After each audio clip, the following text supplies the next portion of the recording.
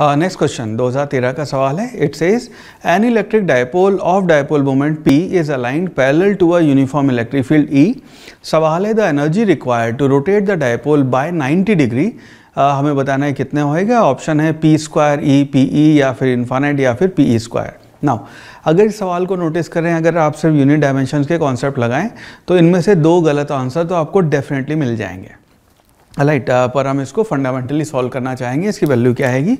सो so, ये situation है कि ये आपकी इलेक्ट्रिक फ़ील्ड इस डायरेक्शन में है और इसके साथ हमने पैरेलली अलाइन करके आपका एक डायपोल पी डायपोल मोमेंट यहाँ रखा हुआ है। हमें बताना है कि इसको अगर हम 90 डिग्री रोटेट करेंगे तो हमारा कितना वर्क डन होएगा? यहाँ पे कितनी एनर्जी रिक्वायर्ड होएगी? ना हमें ये पता है कि पोटेंशियल एनर्जी किसी भी इसको एक काम करते हैं पोटेंशियल एनर्जी यू किसी भी डायपोल की जो होएगी उसको हम लिखते हैं माइनस पी ई जो ये अपना वर्क डन है हम इसको लिख रहे हैं तो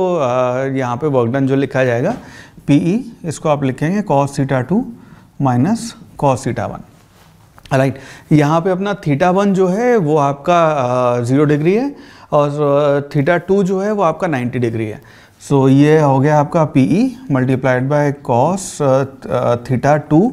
theta two को हम 90 डिग्री लिख सकते हैं minus cos theta zero degree so इसे सॉल्व करके आ गया minus P multiplied by minus one यानी कि plus P E